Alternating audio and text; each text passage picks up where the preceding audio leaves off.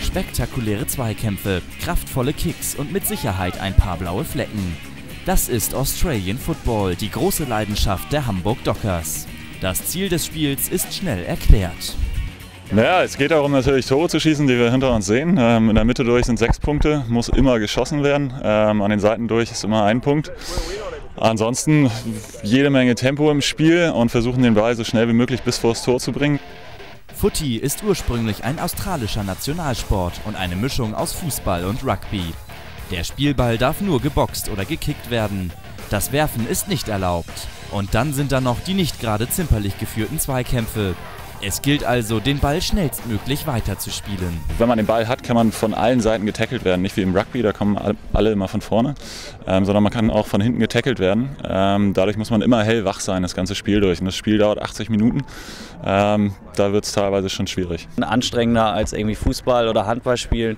Schnelle Bewegungen, äh, Oberkörper, Unterkörper, äh, mit den Händen, mit den Füßen. Die Leute müssen miteinander reden. Es ist also voller Einsatz gefordert. Umso beeindruckender, dass beim Footy auf Schutzkleidung verzichtet wird. Nur der Mundschutz ist stets dabei. Ein erhöhtes Verletzungsrisiko besteht dennoch nicht. Fabian zumindest ist seit fünf Jahren verletzungsfrei guckt man zum Fußball oder sowas, da hat man irgendwelche Grätschen, da werden einem die ähm, Knöchel auseinandergenommen.